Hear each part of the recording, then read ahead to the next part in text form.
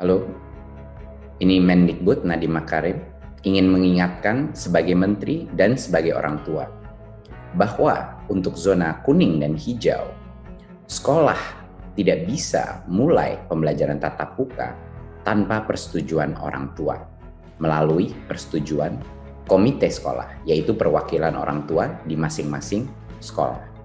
Dan bahkan kalau sekolah itu mau melakukan tatap muka dan sudah akan membuka, masing-masing orang tua anak boleh tidak memperkenankan anaknya masuk ke dalam sekolah kalau mereka belum nyaman dan mereka diperbolehkan melanjutkan PJJ jika orang tuanya tidak memberikan izin untuk masuk sekolah tatap muka.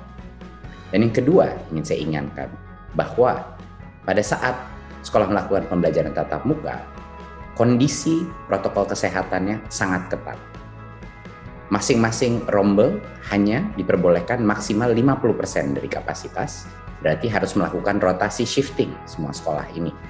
Dan juga tidak ada lagi aktivitas kantin berkumpul ekstrakurikuler yang akan ada resiko interaksi antara masing-masing rombel. Hanya boleh sekolah, langsung pulang setelah sekolah.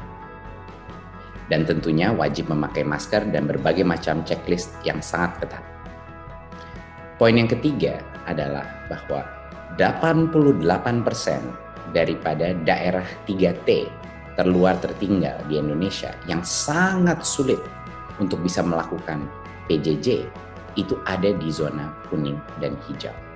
Saya sebagai menteri dan orang tua hanya ingin mengingatkan tiga poin ini bahwa relaksasi zona kuning dan hijau itu semua kuncinya keputusan ada di orang tua bahwa protokol kesehatan pada saat tatap muka itu sangat berbeda dari pra pandemi dengan rotasi shifting dan yang ketiga adalah bahwa banyak sekali daerah-daerah yang tidak bisa melakukan PJJ bisa mulai melakukan tatap muka agar mereka tidak ketertinggalan dari sisi pembelajaran.